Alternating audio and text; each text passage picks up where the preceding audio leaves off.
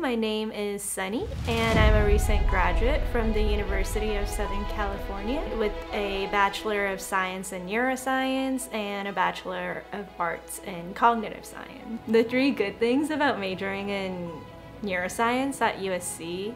The first thing that I want to say is the major itself is very flexible.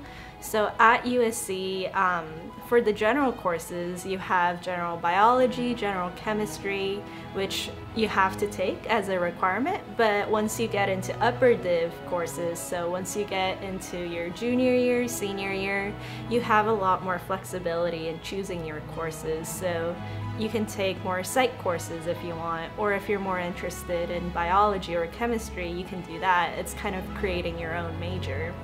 So from that flexibility, that goes into the second good thing, which is diversity. So you get to really explore a lot of different things you can do with this neuroscience degree. Then you can test what exactly do I want to do with neuroscience? Do I want to go into maybe more psychology and like therapy? Or do I want to hone in on biology and chemistry or like become a medical doctor? And the last good thing about USC is kind of the opportunities that it offers. It is located in Los Angeles, which is one of the biggest cities in America. There's a lot of hospitals, so if you're interested in becoming a medical doctor, you can volunteer and get your clinical hours.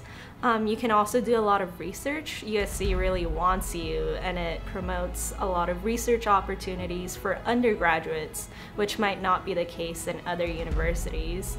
So it has a lot of great professors who take undergrad students and you can learn a lot from research as well. So a lot of opportunities to figure out what you want to do. The difficulties that I faced in pursuing neuroscience at USC was when I felt like I was wasting time. So taking classes that didn't really seem to correlate to what I wanted to do because as you go through your years at, in your college, your what you want to do hopefully gets more specified and that's what happened to me but when I had to take, for example, general biology courses, general chemistry courses, I'm like, but this is not really what I want to go into. So it was really hard to keep myself motivated in taking those classes.